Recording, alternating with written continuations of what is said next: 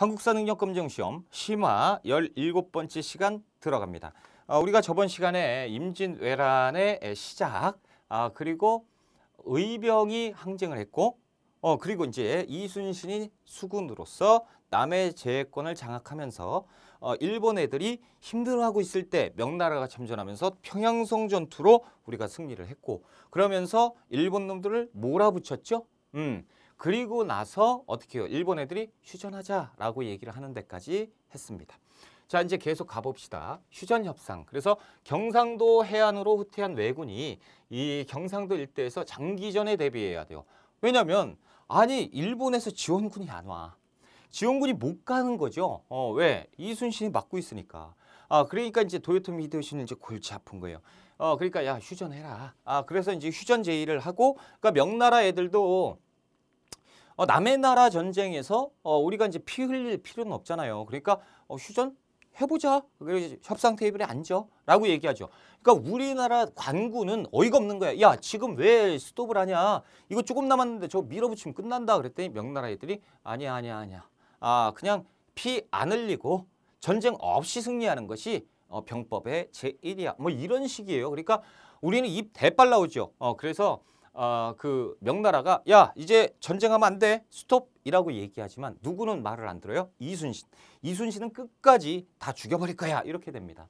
어, 결국에 이제 그때 어, 이 그 명나라하고 일본 애들하고 휴전 협정을 하고 있을 때 명나라에서 어, 얘기를 합니다. 야 이제 일단 조건 없이 휴전하고 그 다음에 니들 원하는 거 뭐 어쩌고 이 협의를 하자라고 하는데 일본 애들이 그럽니다. 그렇다면 일단 공격부터 하지 마라고 얘기해요. 그러니까 명나라에서 음 알았어 그 정도는 해줄게 라고 했는데 이순신이 계속 공격한단 말이야. 그러니까 일본 애들이 야 지금 휴전하자며 지금 이순신은 막 공격하잖아 라고 얘기해요. 그러니까 어 야 공격하지 말라고 명나라에서 얘기했더니 이순신이 나는 명나라 장수가 아니고 조선 장수다 라고 얘기를 해요. 그러니까 선주한테 얘기해요.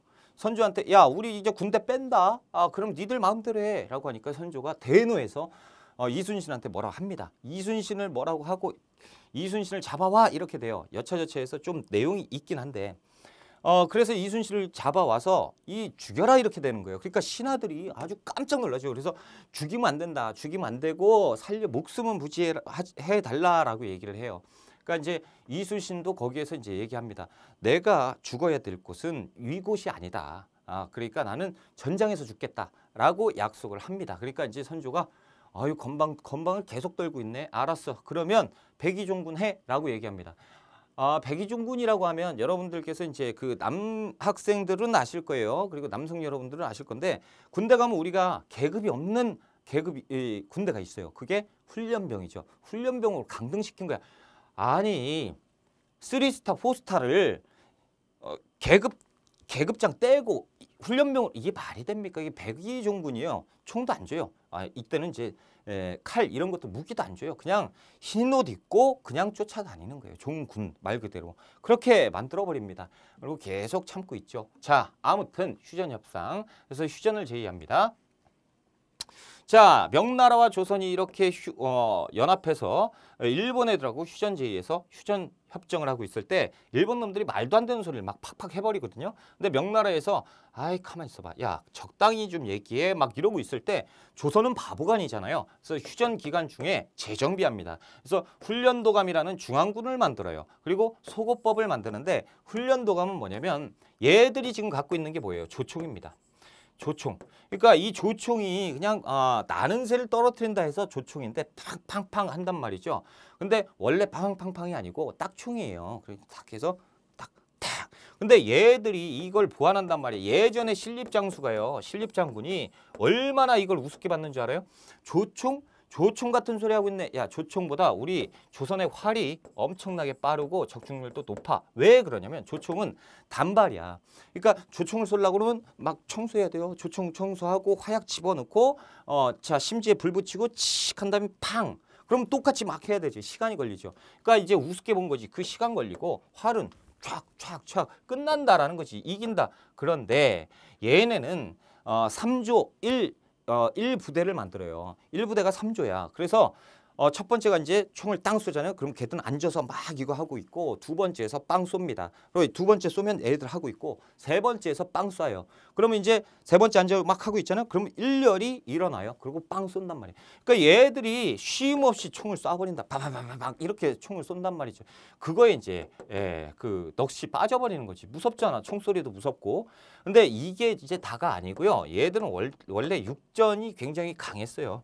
사무라이들이잖아. 팍 싸운 단 말이에요. 그러니까 아, 요런 문제가 있었는데 아무튼 우리는 아, 보름 만에 그냥 끝나버렸잖아요. 그러니까 이런 걸 보, 보완하기 위해서 군대를 만드는데 중앙군 훈련도감을 만듭니다. 그래서 우리도 조, 어, 총, 칼, 창, 아, 그리고 보병. 그래서 포수, 사수, 살수, 아, 아, 보병, 활, 포수, 사수, 살수를 만들어요. 그래서 활, 조, 어, 활부대, 그리고 총부대, 그리고 칼과 창부대, 보병이죠.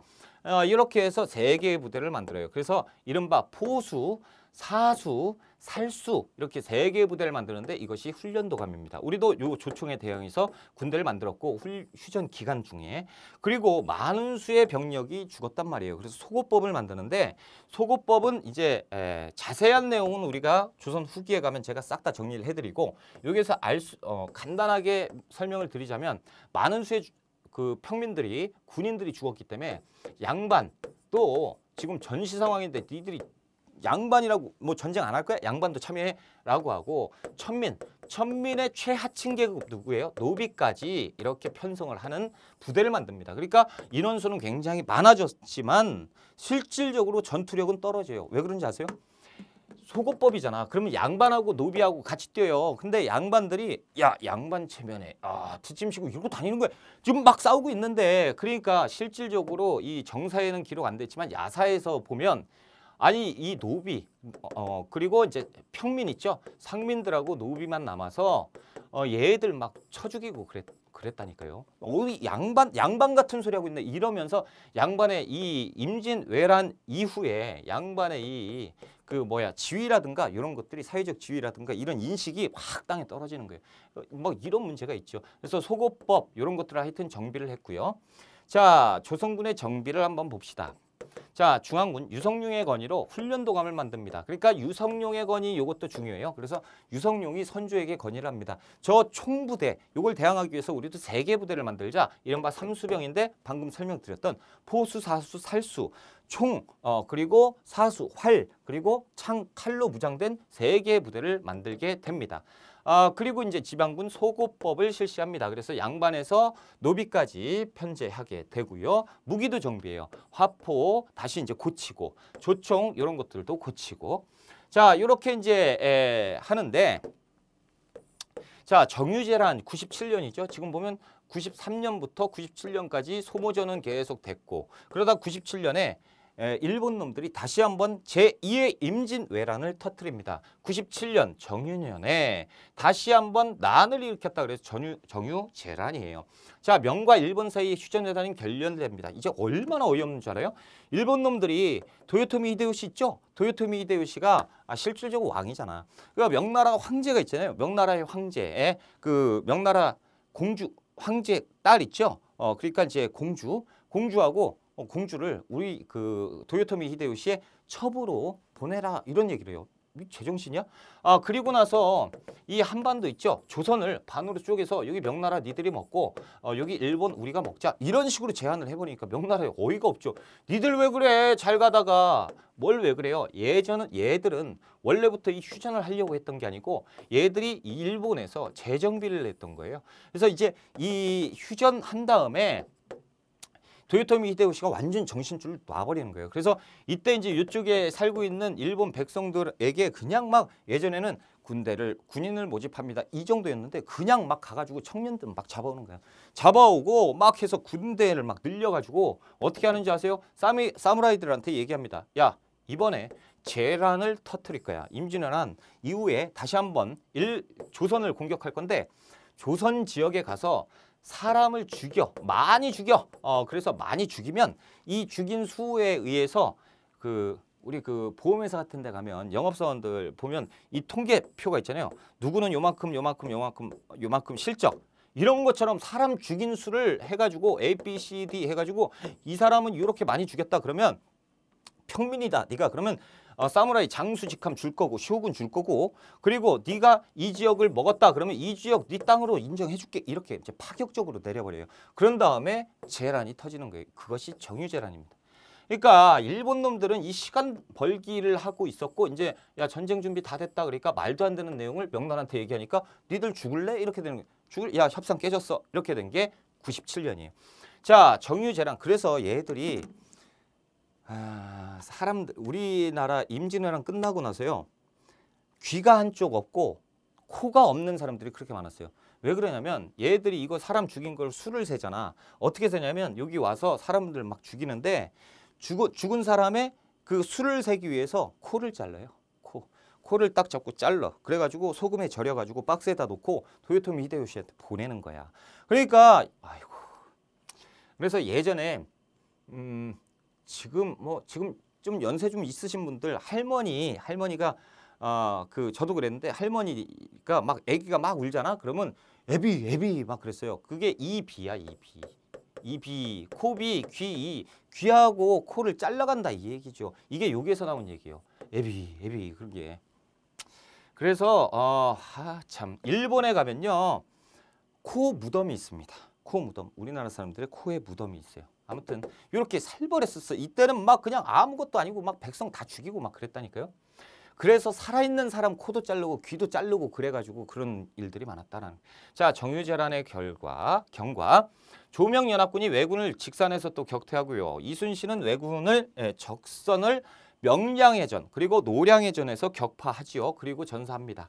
자 정유재란이 터졌어요. 일본 놈들이 아주 막 무자비하게 막 넘어와요. 이제는 넘어오자마자 사람들 죽이는데 장난 아니게 죽여요. 그러니까 이제 이순신은 명 이순신이 백의종분을 냈잖아요. 아 참. 선조가요. 백의종분을 시켰어. 그러니까 이제 이순신이 그 밑에 가가지고 예전에 내, 나보다 훨씬 밑에 있는 사람을 상관으로 두고 거기 있어야 된단 말이야. 그러니까 완전히 그 어, 그런 대접도 못 받고 그러고 이제 힘들게 아무것도 없잖아. 그러니까 막 추운데 그냥 옷 하나 걸치고 그냥 막 동상 입고 막 이렇게 개고생을 했단 말이야. 근데 선조가 그때 이제 정유재랑 빵 터진 다음에 이순신한테 눈물 뚝뚝 흘리면서 죄송합니다. 내가 잘못했어. 그러니까 나를 도와주시오. 그러고 다시 예전처럼 삼도 어 어 그 뭐야 총재사로 임명을 합니다. 그래서 군대 가라고 해요. 그래서 다시 이제 예전처럼 이, 이 이쪽에 이제 총괄 책임자 사, 사령관으로 임명을 하는데 가봤더니 그 전에 원균이라는 음, 그 장수가요. 이순신이 모아놨던 군인, 거북선, 판옥선 싹 다 몰살시켜버린 거야. 그래서 가봤더니 이순신이 몇 대 있는 줄 알아요? 열두 척이 있는 거야. 판옥선 열두 척. 이게 말이 되냐고. 아 그래서 이제 그 백성들이요. 어, 이순신이 돌아왔다라는 걸 알고 한 척을 숨겨놨었거든. 그래서 열세 척이에요. 열세 척 가지고 얘들이 군대를 300척을 갖고 와요. 300척. 이 열세, 열세 척 가지고 300척을 격파한 대전쟁이 명량해전입니다. 그래서 우리가 영화도 있잖아요. 명량해전 엄청나게 중요하고 그리고 노량해전. 어, 노량해전은 이순신의 마지막 전투이자 임진왜란의 마지막 전투예요. 그래서 노량해전에 노량해전에서 승리를 했는데 이제 이제 퇴각하는 일본 애들 있죠. 일본 애들이 퇴각합니다. 근데 이순신이 이해가 안 가는 게 이순신 이게 이제 군대가 있잖아요. 그러면 항상 지휘관은 한 가운데 있어야 돼요. 앞에 있거나 뒤에 있으면 안 돼요. 그래서 가운데 있어요. 가운데 있는데 갑자기 돌격하라 그러면서 돌격을 해요. 아니 애들 패배해서 도망가기 바빠. 근데 적진 한가운데로 대장선이 들어가요. 그러면서 여기에서 총 맞고 전사를 하는 것이 이순신입니다. 내가 볼 때는 자살인데 아, 이런 부분은 이제 나중에 예, 기회가 되면 대, 제가 자세하게 알려드릴 거예요. 아무튼 이 정도만 하고 그래서 이 정유재란 때 전쟁과 시험에서 어떻게 나오냐면 이렇게 나옵니다. 어, 사료를 주고요. 사료에서 어, 이제 그 임진왜란의 임진왜란의 시작과 아 그리고 이제 예, 경과 진행 과정 그리고 이제 휴전 어 그리고 나서 정유재란 이렇게 나오거든요. 그래서 가나 다라에서 순서 맞추기 이런 거 나오는데 임 임진왜란의 시작은 우리가 4월 달에 있었던 정발과 송상현 그렇죠. 이것이 이제 그리고 이제 신립장수 그리고 의주로 파천했고 그리고 이제 평양선에 아 평양성 평양성을 탈환했던 조명연합군. 그러면서 휴전이 됐고 그렇죠? 어, 그 과정에서 이제 신립장군이 막 이, 있었고 그 다음에 이제 정유재란 이렇게 나오는 것. 그래서 정유재란 얘기할 때 명량해전과 노량해전 이렇게 두 가지만 아시면 됩니다. 그래서 앞잡다서 정명노 말도 안 되지만 이렇게 외우면 요거 하나 정도는 우리가 끝을 봤다라는 거죠 됐습니다. 정유재란 그래서 명량해전에서 대파하고 노량해전에서 전사하고 임진왜란도 이때 끝난 걸로 보고 있습니다. 아, 그래서 이제 전세가 분리해진 외군인 동요토미 히데요시가 자 아, 철수해라라고 하는데 지금 철수해라라고 얘기하고 그리고 이순신이 막 격파하고 그런 과정에서 충격받고 죽어요. 어, 그리고 이제 에, 끝이 나는 거고 자 외란의 결과 볼게요. 임명송씨 말할 거 없죠. 토지대장 호적 게 지금 중요해요. 지금 사람들 다 죽었어요. 근데 무슨 엉망진창이죠. 자, 그리고 재정이 궁핍합니다. 이제 전쟁이 끝났으니까 어떻게 해요? 복구 사업 해야 돼요. 이른바 전후 복구 사업을 해야 되는데 건축물 막 집 올려야 되고 막 여러 가지 다 해야 되잖아요. 그럼 뭐가 필요해요? 자금, 돈이 필요하단 말이야. 비용 조달을 위해서 가만히 있어 보자. 비용 있는 놈들이 누가 있을까라고 했는데 양반들 비용 있죠? 근데 얘들은 또 돈 내라고 하면 싫어하잖아. 평민들 중에 돈이 많은 평민들이 있어요. 농민들. 그렇죠? 농민들한테 얘기하는 거죠. 야, 관직을 그러니까 양반되고 싶지. 돈 내면 양반 시켜줄게 라고 하는 거예요. 그것이 이제 에, 공명첩과 아 그리고 납속책인데 공명첩은 이렇게 생겼어요. 교지라고 해가지고 이렇게 돼 있잖아요. 이렇게 이름이 비어 있다. 이름 이름이 비었다. 그래서 비었다. 이름이 공명첩지예요. 그래서 요걸 가지고 있으면 어, 종몇 품에 그 저 뭐야 임명한다 뭐 이런 거죠. 어, 요것이 이제 공명첩이에요. 그러니까 양반을 돈 주고 살 수가 있고 그리고 납속책 같은 게 있거든요. 납속책. 이것은 관청이나 이런 데에다가 일정 비율 돈을 주면 그러면 면천 같은 걸 시켜주는 거예요. 그럼 면천 되었죠? 면천 됐어. 근데 돈 또 있어요. 그럼 어떻게 해요? 공명첩 사요. 그럼 양반이 되죠. 어, 안주 평민들이 양반 돼버리는 거예요. 돈 있는 사람들이 양반 되고요. 그러다 보니까 양반들이 예전에 특 권을 유지했었는데 임진왜란 때 보셨죠? 사회적 인식 자체가 양반 뭐 쓸데도 없고 저 이상한 놈들이야. 뭐 전쟁했는데 뭐뭐 체명이 어때? 뭐 이래, 이렇게 됐잖아. 근데 나도 이제 양반이야. 그러니까 양반을 우습게 보는 거야. 니까지 게 양반이야. 나도 양반이야. 이렇게 되면서 신분제가 동요되는 것이 이런 겁니다. 자, 문화재 다 소실됐고요. 비변사는 강화됐고 밀란도 생겨요. 이모각에 나는 임진왜란이 터지고 선조가 피난을 가잖아요. 그 과정에 이몽학이 저런 게 무슨 왕이야. 내가 왕이 돼버려야겠다. 그러면서 난이 일어났던 거죠. 자 군사정비, 유성, 유성룡의 건의로 훈련도감, 소고군 이런 것들을 만들게 되면서 우리도 군사 정비를 했고요. 비격 진천뢰 이런 것들이 있는데 뭐냐면 이렇게 동그랗게 생겨가지고 이게 이렇게 이제 뭐 어떻게 보면 어, 이렇게 생겨서 막 꼬챙이 같은 게 이렇게 있는 건데 이 안에 엄청나게 예리한 그 철 조각들이 막 있어요. 그것이 이제 심지어 불 붙이면 쫙 하면 여기에서 뭐 땡글땡글 굴러 칙 해요. 그러면 얘가 터질 때 그냥 터지는 게 아니고 위로 팍 솟아가지고 팡 터져요. 그럼 어떻게 되겠어? 팍, 와. 이 비격 진천뇌, 화차, 어, 천자총통 이런 것들인데 화차는 어, 이렇게 나중에 기회가 될 거예요. 제가 보여드릴 건데 이게 심지가 있고 여기에 바퀴가 있어요. 그래서 여기에 한 100개 정도의 구멍이 뚫려 있어요. 여기 화살이 막 들어가 있는 거지. 여기 심지 탁 붙이면 100개 팍 해가지고 쏘는 거. 이런 것들 이용해서 어, 우리가 막았다라는 거죠. 4대 의식의 강화. 이건 좀 어떻게 보면 안 좋은 건데 명나라가 도와줬죠. 그래서 명나라의 도움을 잊지 말자. 그래서 명나라의 의리를 지켜야 된다라는 어, 그런 의식들도 생겨요. 일본은 그 도요토미 히데요시가 죽고 에도 막부가 성립됩니다. 도쿠카와 이에야스가 음, 어, 이 설명은 좀 일본사니까 제가 좀 생략을 하려고 하는데 어, 도요토미 히데요시의 에, 그 아래 수하로 있었는데 원래 수하는 아니에요. 도쿠카와 이에야스가 원래 풍신수기류보다 힘이 더 좋았는데 어떻게 이제 명분 싸움에서 져가지고 어, 풍신수길 밑에 있었던 사람인데 풍신수길이가 죽자마자 자신이 정권을 잡게 됩니다. 그래서 에도막부가 성립돼요. 에도막부가 성립된 다음에 얘들이 어떻게 하는 줄 아세요? 조선에다가 조금 있다가 아, 우리 사절단 좀 보내주세요 라고 얘기를 합니다. 우리 애도막부 성립됐으니까 우리 정권을 좀 상국으로서 어, 인정해 주세요. 이거 진짜로 이렇게 해요. 짜증나죠. 그래서 조선에서 그래 우리가 도와줄게. 옛날 일은 옛날 일이고 어, 불쌍한 놈들 니네 에, 정권 바뀐 거 우리가 인정해주마 상국으로서 그러니까 전 세계적으로 인정받을 수 있어 우리 상국이 인정해줬으니까 이런 건데 이게 이제 통신사를 보내는 거예요.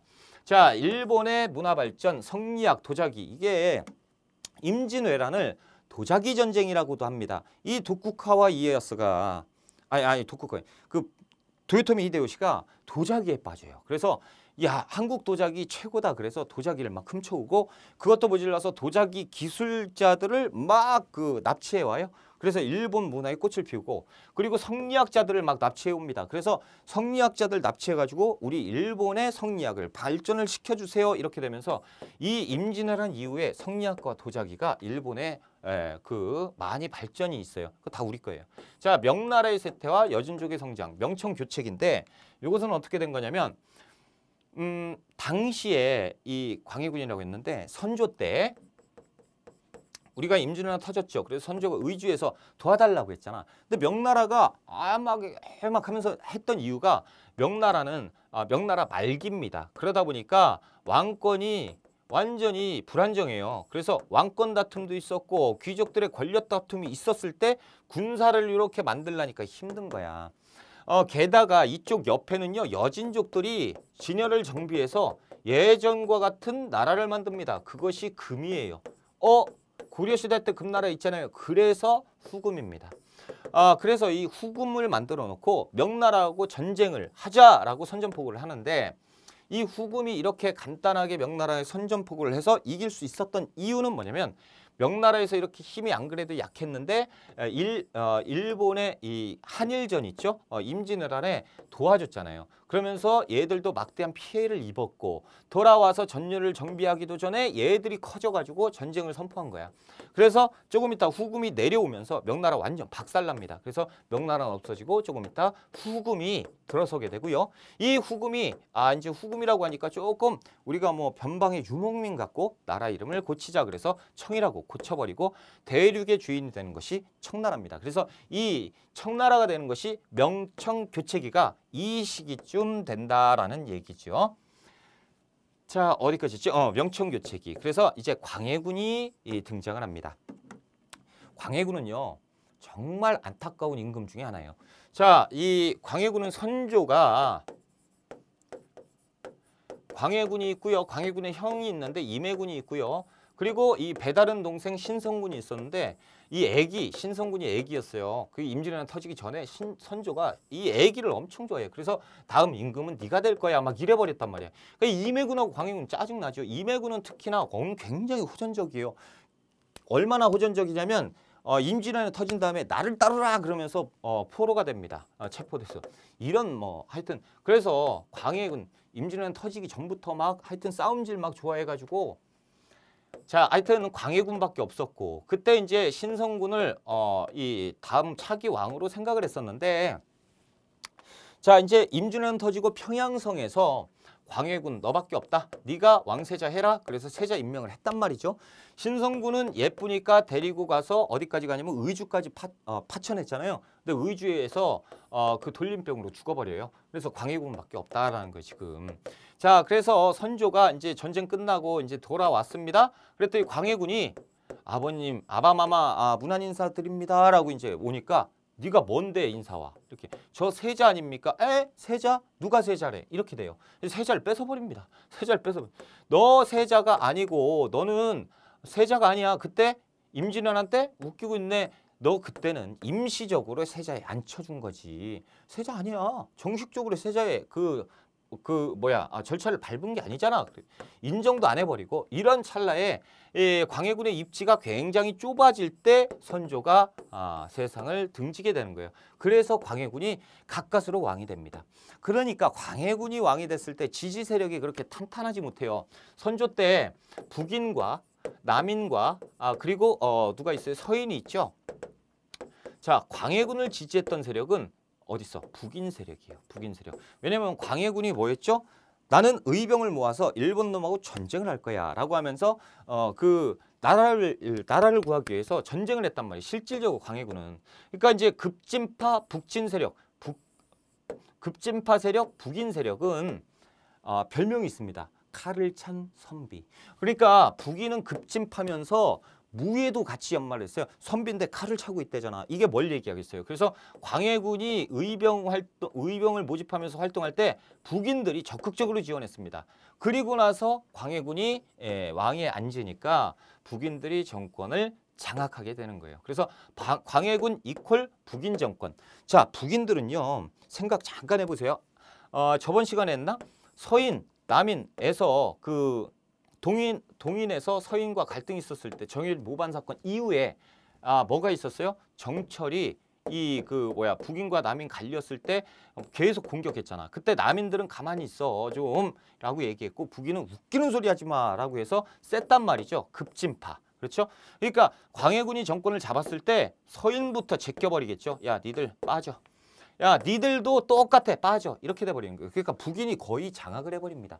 그러니까 8대 2 정도의 비율을 채우고 궁을 채우는 거예요. 북인이 거의 80%.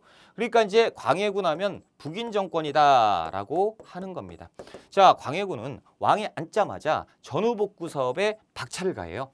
어, 그래서 전후복구, 성곽 수리하고요, 무기 보완하고요, 민생도 챙겨야겠죠. 토지 측량 사업하고요, 호적도 정리합니다. 그리고 당시에 전쟁이 엄청나게 길고 심각했기 때문에 돌림병이 돌아요. 그래서 허준을 시켜서 허준은 당시에 그 선조 때 선조 때 활약했던 어인데 이제 나이 많이 먹었죠. 그리고 어 그리고 그 우술이 굉장히 뛰어났을 거 아닙니까? 그러니까 허준이 예, 광해군 때 많이 나이 먹었어요. 그래서 네가 갖고 있는 머릿속에 있는 것들을 책으로 펼쳐내봐라 라고 해서 어, 의학 백과사전 동의보감이 광해군 때 편찬되게 되는 거예요.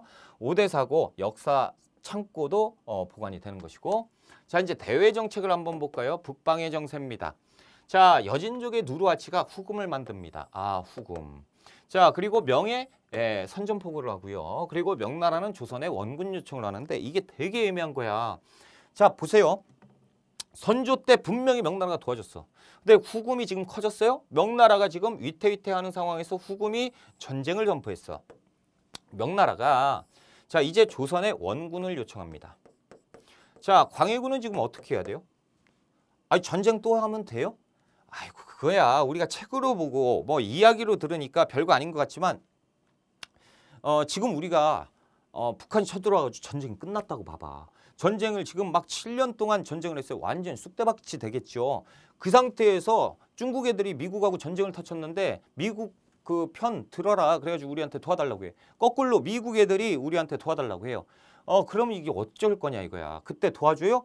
우리는 지금 우리 집 지금 이거 토목공사 하기도 바빠 죽겠는데 지금 그리고 먹고 살 것도 없어요. 이 상태에서 이런 일이 터진 겁니다. 그러니까 광해군은 하, 고민해요.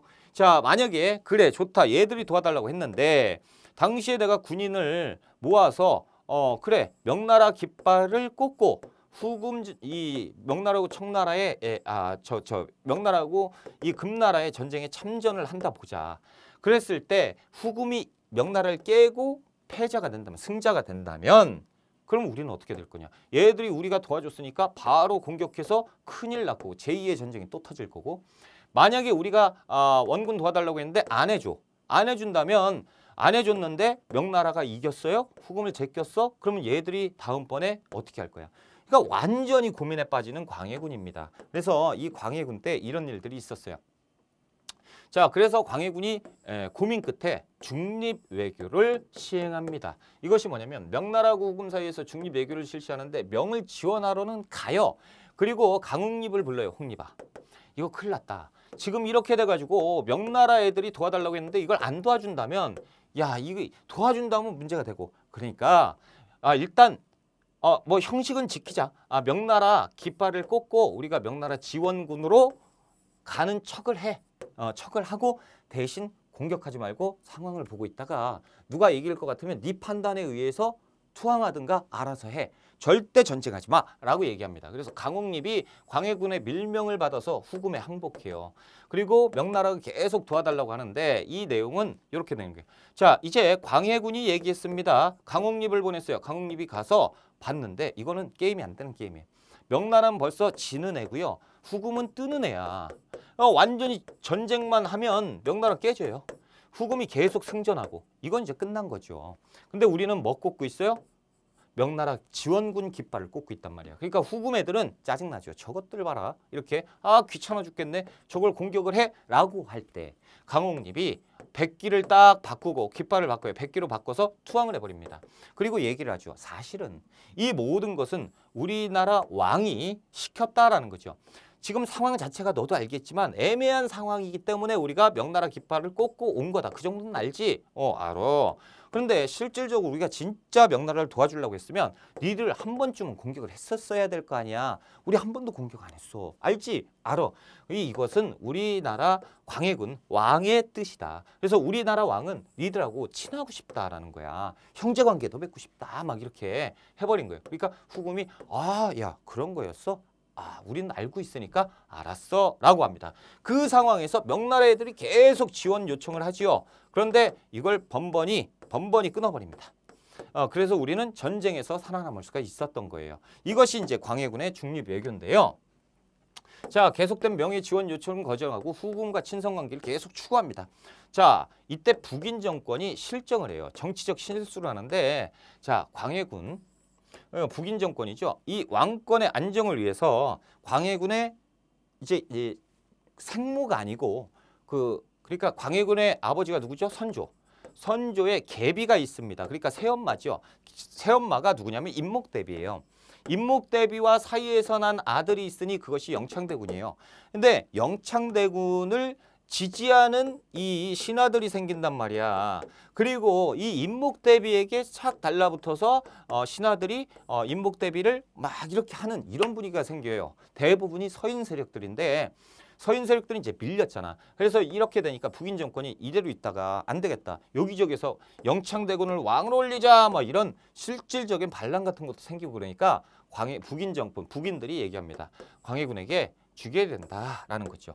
결국에 영창대군은 강화도로 유배 보내고 팽영 막 거기에서 어, 유배 보내가지고 거기에다 문을 막 못질을 해가지고 못 나오게 해요. 위리안치를 시킵니다. 위리안치가 뭐냐면 유배에 유배 그 보낸 집 있죠. 거기에 가시덤불로 울타리를 쌓아버리는 거예요. 아예 못 나와. 이렇게 어유 못 나와요. 그 상태에서 그것도 모질라서 이제 못질을 해버려요. 팍 못질을 하고 완전 방을 미친 듯이 뜨겁게 계속 아궁이를 떼버리는 거예요. 완전히 목타지요 막 하면서 어 그 그렇게 이제 아 막 뜨겁게 갈증 나면서 죽는 거 이거 이제 팽형 팽형이죠. 팽형 끓여 죽이는 거. 뭐 이런 거. 그래서 영창대군을 그렇게 무자비하게 살해를, 살해를 하고요. 그리고 임목 대비를 폐위시킵니다. 아 폐위하고 이 현재 덕수궁 있죠? 이쪽에다 가둬버려요. 서궁에 유폐시켜 버립니다. 이것이 어머니를 패하고 동생을 죽였다 해서 폐모살제. 이것이 이제 서인들의 서인들의 명분이 되는 거예요. 자, 이제 끝났다. 자, 첫 번째. 이 광해군은 왕이 될 수 없는 사람이다 라는 거죠. 자, 우리는 어찌됐건 명나라를 사대해야 되는 민족으로서 어, 바로 직전에도 임진왜란 때 명나라가 우리 국나라를 도와줬었는데 지금 명나라 아, 그 의리를 저버리고 충효예잖아요. 어, 의리를 저버리고 이 여진족 있죠? 여진족 오랑캐하고 손을 잡았고 그러니까 이제 첫 번째, 두 번째, 어, 이 유교의 나라에서 어머니를 폐위시켰고 세 번째, 유교의 나라에서 동생을 죽였고 왕이 될 수가 없다라는 이유로 어, 나중에 이제 예, 서, 서인들이 광해군을 몰아내게 돼요. 자, 광해군은 후금과 친교 관계를 맺고 명나라에서 계속 지원하는데 요청을 거절하고요. 영창대군을 유배시켰죠. 임목대비가 유폐 임목대비를 유폐시켰어요. 영창 죽이고 이렇게 폐위시키고 그러니까 이제 당시에 북인들이 엄청나게 세게 탄압을 했단 말이에요. 누구? 남인과 서인을. 그런데 지속적으로 선조 이후부터 계속 힘이 힘을 키웠고 계속 어, 그 정치적으로 노련한 세력이 누구냐면 기성사림 서인이란 말이야. 서인들이요 어, 이런 어, 그 왕을 모실 수 없다. 그래서 명분상 이렇게 돼버리는 거. 이것이 뭐냐면 인조 반정입니다. 자, 인조 반정. 인조를 왕으로 앉히고 반정을 일으키는 거예요. 광해군을 몰아냈어요. 그래서 인조를 즉위시킵니다. 대부분 누구예요? 서인입니다. 그래서 서인 정권이 수립되는 거예요. 그래서 서인 정권이 인조가 아, 이렇게 딱 아, 왕에 앉자마자 서인들이 집권하고요. 이때 누구를 다 제끼겠어요? 이 북인들. 이 북인들 싹 다 몰아내 버립니다. 그래서 이때 북인들이 역사 속으로 사라져 버려요. 음. 그리고 남아 있는 세력 누구죠? 남인.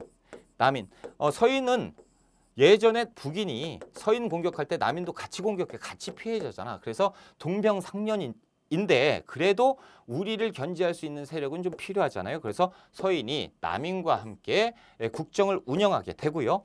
자 그리고 서인들이 인조를 즉위시키고요. 그런 다음에 다시 뭐라고 얘기하면 칙명배금이다라는 거죠. 우리는 선비의 나라다라는 거예요. 6.25 국가에서 은혜를 저버릴 수는 없는 것이다. 우리의 에, 은혜, 에, 그러니까 이제 우리의 그 고마운 나라, 명나라가 위기에 빠졌으면 명나라를 도와줘야 되는 것이다. 이런 여진족 오랑캐들하고 노는 거는 있을 수 없는 일이다라는 거죠. 그것이 친명배금이에요. 명나라하고 친하고 계속 명나라를 사대해야 되고 금나라를 배척해야 된다라는 것을 어, 국가 기조를 바꿔버립니다. 이것이 이제 서인 정권이에요. 그러니까 후금 입장에선 짜증나죠. 후금이 지금 뭐 해야 돼요? 명나라하고 전면전을 해야 되는데 아까 누구 있었어? 광해군이 있었잖아요. 광해군은 친구야 이렇게 됐단 말이야. 그러니까 이제 후금이 명나라하고 이렇게 전적으로 전면전을 하는데 뒤에 뭐 걸릴 게 없으니까 여기에 올인할 수 있는데 지금 갑자기 인조 서인들이 정권을 이렇게 에, 바꾼 다음에 찬탈한 다음에 어떻게 했어요? 후금을 지금 옆에서 까짝까짝 공격하려고 하니까 후금이 신경 쓰이죠. 짜증이 나기 시작하는 거예요. 자, 이제 호란이 터집니다. 자, 정미호 호란 누가 쳐들어요? 후금이 쳐들어오는 거예요. 지금과 같은 이유 때문입니다. 서인이 집권을 했어요. 인조, 광해군을 몰아내고 친명매금 정책을 추진합니다. 그러니까 후금이 짜증 확 나죠. 그래서 후금이 어떻게 해요? 광해군을 위해서 보복한다는 명분으로 쳐들어오게 됩니다. 아, 이게 무슨 얘기냐면 보세요. 어, 광해군은 쫓겨 그 죽은 거 아니에요? 안 죽었어요. 자, 인조가 왕에 즉위하면서 서인들이 인조를 왕으로 앉히고요. 기존에 있었던 광해군은 어떻게 했냐면 광해군은 유배 보내버립니다. 이것이 이제 명분이 이제 되는 거예요. 자, 후금이 얘기합니다. 어, 나는 형 같은 나라인데 내 동생이 지금 쫓겨났어. 유배 갔잖아요. 그러니까 아직까지 기회가 있는 거예요. 후금이 인조를 패하고 광해군을 다시 앉히겠다라는 이유로 내려오게 되는 것. 이것이 친명 아 저 저 저 뭡니까? 아그 정묘 호란이에요. 호란. 그래서 후금이 심양에서 첫, 어, 출발을 했는데 1월 8일. 그리고 의주성이 바로 깨져요. 엄청나게 빠른 속도로 내려요. 그래서 어, 정주로 갑니다. 정주성 가는데 1월 15일. 하루 만에 요만큼 내려왔고 그리고 그 다음에 21일 어, 며칠 안 돼서 함락되고 그 다음에 평양까지 도착했어요. 1월 23일. 그러니까 며칠이야. 한 2주? 2주 만에 싹 다 먹어버렸다라는 거지. 그러니까 이제 깜짝 놀랐지. 서인 정권에서 어떻게 하겠어요? 항복.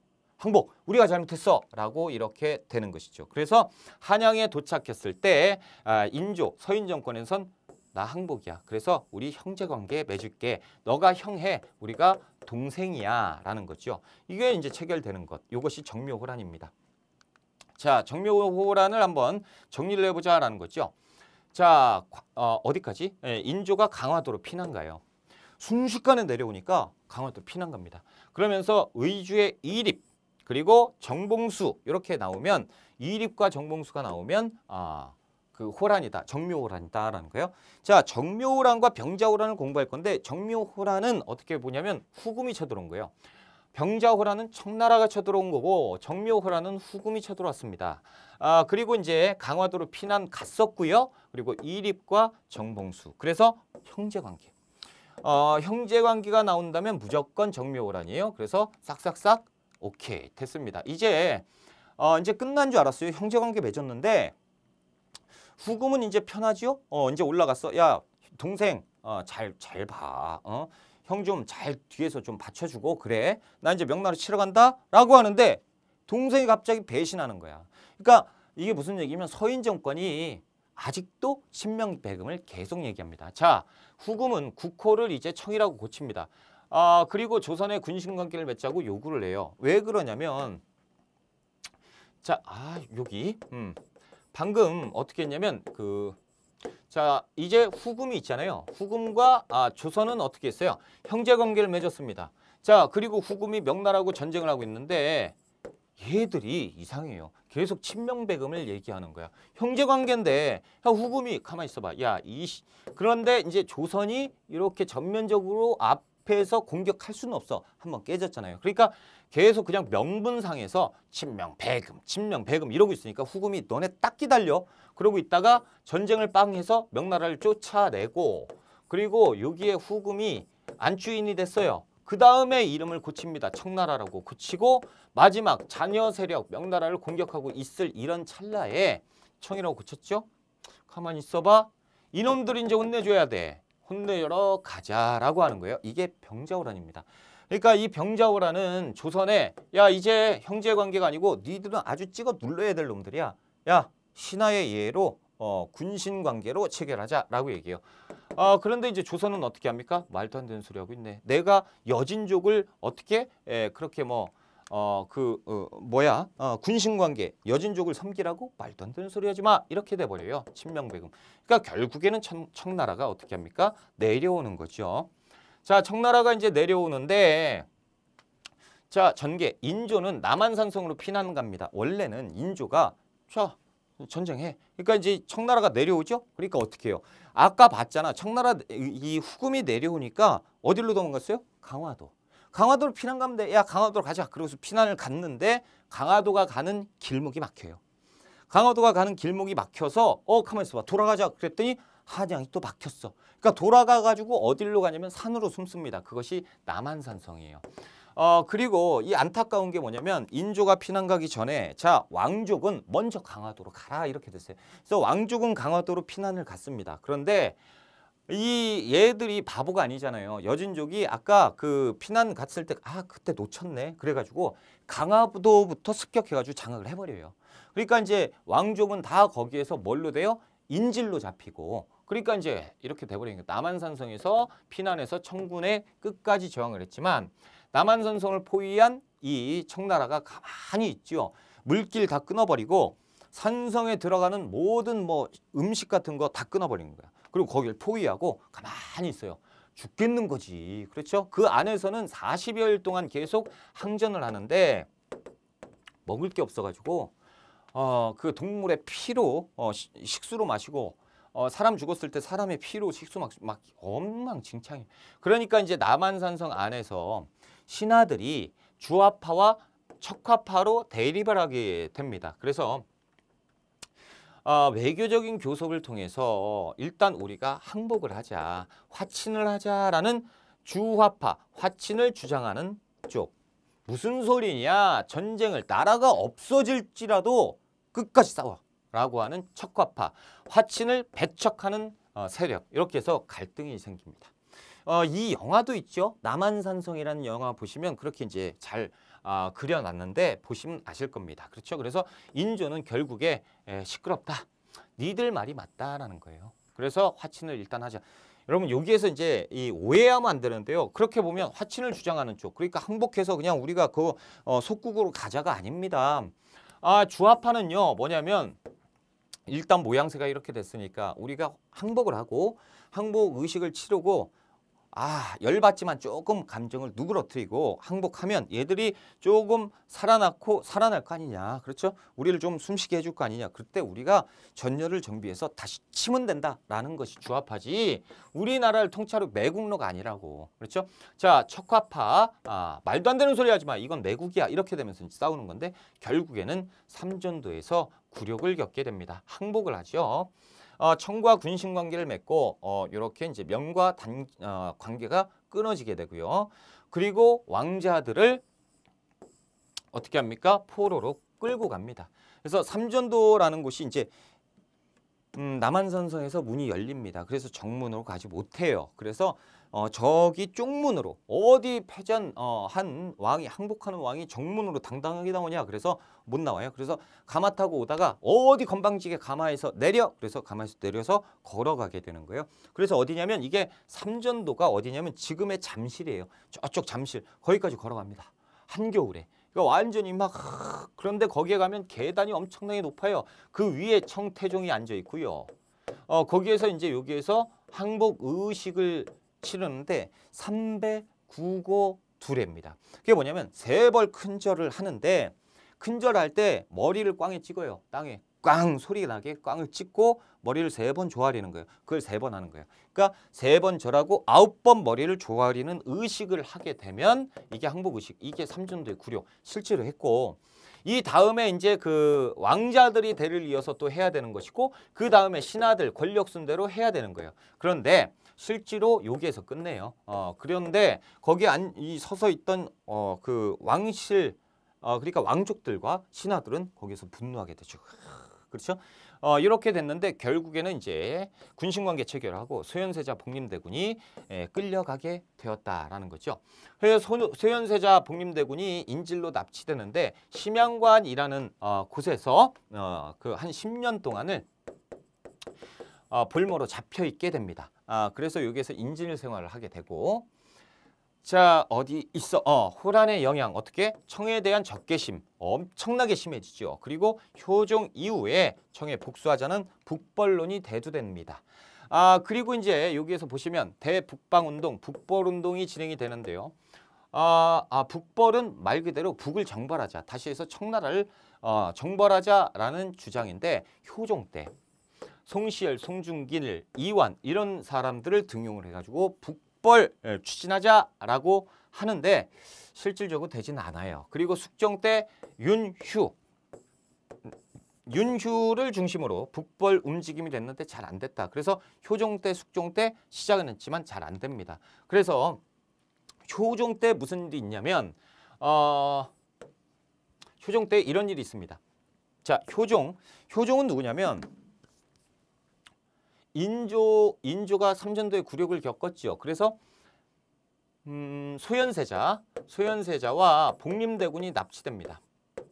복림대군 소현세자가 납치되는데 소현세자는 세자잖아요. 그러니까 자기 왕이 될 사람인데 청나라에 가서 봤더니 청나라가 엄청 큰 대국이에요.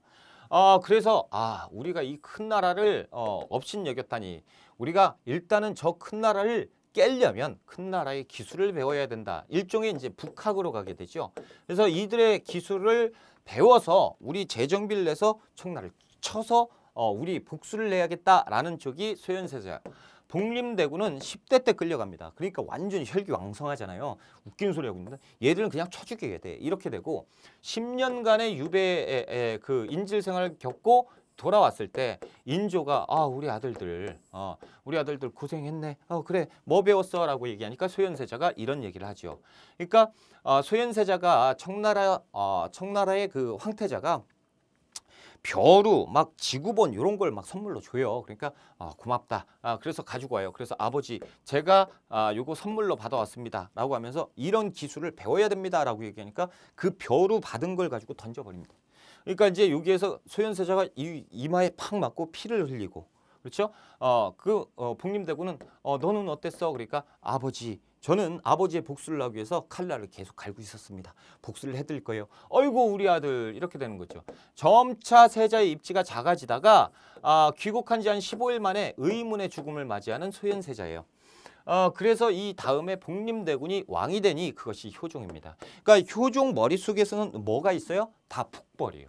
청나라 아 완전히 정벌해야 된다. 그러니까 효종이 왕이 되자마자 군사를 정벌하는 아 정비하는데 조총 부대를 엄청나게 만들어요. 약 300에서 400명의 조총 부대를 만드는데 어 이때쯤 돼서 러시아가 예, 예, 나선이라고 불러요. 러시아가 엄청나게 커지면서 청나라를 위협합니다. 그러니까 청나라가 효종에게 복림대군한테 야 우리 요거 도와줘라고 해요. 복림대군이 우리가 군대가 어디 있습니까? 혼날래? 니네 우리 칠라고 군대 만들어 놓은 거 있잖아. 이거 빨리 보내라고 하는 거예요. 어 이제 다 한 거죠. 그러니까 효종이 안 되겠다. 그래서 이 조총 부대를 가지고 어, 러시아를 정벌하는데 두 차례 갑니다. 두 차례 가는데 우리가 대승을 거둬요. 싹 다 정벌해버립니다. 이게 이른바 나선 정벌이에요. 나선 정벌. 그래서 조선의 조총부대가 두 차례 갑니다. 두 차례. 그래서 변급과 신유가 아, 1차 원정, 2차 원정 가는데 우리가 싹 다 전멸했다. 아, 전멸시켰다라는 거죠. 자, 그리고 이 나선 정벌이 참 안타까운 거예요. 그렇죠. 이 군대 가지고 청나라를 쳤으면 역사가 바뀔 수도 있었는데 아무튼 이렇게 되면서 우리가 완전히 기가 빠졌죠. 정보력에서도 또 뒤처지고 군사력에서도 뒤처지고 청나라 아 그럴 때 이제 안 되겠다. 일단 쟤들의 기술력을 배우자라는 북학 운동이 또 한편에서는 전개가 됩니다. 그래서 북벌 실패 이후에 조선에 의해서 청의 선진문물 수용하자라는 움직임이 또 생기게 됩니다. 자, 이 붕당 정치가 대두되는데요. 붕당 정치는 이런 겁니다. 아, 붕당은 원래 복수의 붕당이 그러니까 복, 복수의 정당이 상호 견제와 협력을 통해서 정치를 운영하는 형태인데 이게 잘 안 돼요. 자 봅시다. 우리가 공부했던 거예요. 정리하는 건데 광해군 때 북인이 집권했죠? 어 북인이 집권해서 급진파 북인이에요. 자 인조가 아 인조 때 누가 서인이 집권했죠. 인조 반정을 누가 했어요? 서인이 했잖아. 그래서 서인이 우세했는데 뭐가 생겨요? 호란. 그래서 정묘호란과 병자호란이 발생하면서 완전히 예, 그 깨지게 됐죠. 그 다음에 복림대군이 왕이 됐죠. 어, 그때 이제 북벌을 제기했으나 잘 안 됐고요. 현종 때는 이제 이제 북벌 같은 거는 생각을 못 하고요. 현종 때는 뭐가 되냐면 이제 예속 논쟁 같은 일들이 붕당들이 이제 활성화가 돼가지고 예속 논쟁 같은 것들이 생깁니다. 자, 현종 때 효종의 왕위 계승에 대한 정통성 논란인데 어, 이게 무슨 얘기냐면 어, 이게 현종 때 있었던 그러니까 예속 논쟁하면 현종 때 발생했다라는 거 이렇게 아셔야 되고 현종 때 효종이 있죠. 자신의 아버지 효종이 돌아가신단 말이죠. 그런데 인조가 할아버지잖아. 인조의 할머니가 살아 아 할머니가 인조의 비가 살아 있단 말이에요. 그게 에, 자의대비인데 자의대비는 실질적으로 자의대비는 이 소현세자 있죠. 소현세자부터 어렸고요. 효종과 얼마 복림대군하고 얼마 차이가 안 났어요. 그러니까 근데 어머니잖아. 그렇죠? 그리고 이제 아들. 그러니까 현종과 자의 대비 차이가 많이 안 난다라는 거예요. 그러니까 할머니인데 차이가 얼마 안 나요. 전 인조는 없고 이렇게 됐고 자 효종이 승하했습니다. 그때 현종 때 자의 대비는 어떻게 상복을 입어야 되느냐? 그래서 효종의 상때 남인과 서인이 갈려요. 남인은 3년 어, 옷을 입어야 된다. 서인은 아니다. 1년만 입으면 된다.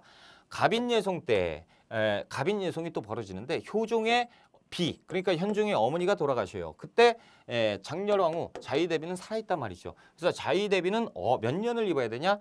1년 입으면 된다, 9개월 입어야 된다라는 거죠. 그래서 1년만 입으면 된다라는 건데 이게 별거 아닌 것 같은데 이때 당시엔 굉장히 심각한 거예요. 보세요. 왜냐하면 어, 효종이 왕이잖아요. 근데 왕의 정통성 문제가 생기는 거야. 소현세자의 자식이 있잖아. 이쪽으로 왕이 갔어야 된다라는 거죠. 그런데 이쪽으로 왔다. 다시 얘기해서 자 효정이 죽었다라는 거죠. 근데 상복을 조금만 입으면 차남의 예에 의해야 된다라는 거예요. 근데 장남이 없잖아. 그래서 아니다. 장남의 예에 의해야 된다. 무슨 소리냐? 차남이니까 차남의. 그러면 장남의 장남의 예를 위해서 장남이 돼야 정통성이 있잖아요. 그러니까 이런 문제가 생겼던 거죠. 근데 서인들은 1년만 입으면 된다라는 거고 여기는 아니다. 1년만. 그래서 1년설이 이렇게 채택이 되게 됩니다. 아, 그래서 이것을 외우셔야 되는데 책에 보시면 이 표가 있죠. 그래서 아, 1차 아, 예속 논쟁과 2차 예속 논쟁. 일단은 언제 예속 논쟁 언제다? 현종 때 예속 논쟁 두 차례가 있었다. 이거는 당연히 아셔야 되고요. 1차 기해 예송 때 서인이 그리고 갑인 예송 때 남인이 그러면 동서남북이잖아. 기서남갑이라고 외우세요. 말도 안 되지만 이렇게 외우자고. 기서남갑. 아, 동서남북 기서남북 아, 남갑 이렇게 예속 논쟁 이렇게 해서 마무리를 짓고요. 어, 이렇게 해서 이제 붕당 정치 정리를 했고요. 우리가 조금 쉬었다가 어, 경제와 사회편으로 들어갈게요. 조금 쉬었다 갑시다.